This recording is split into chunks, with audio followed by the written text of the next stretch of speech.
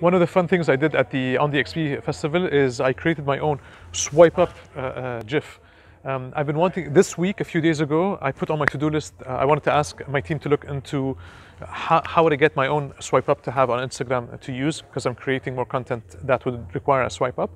And I, I, I walked by the Facebook and Instagram booth that they had at ONDXB, and they're like, "Would you like to create your own uh, GIF uh, for Instagram?"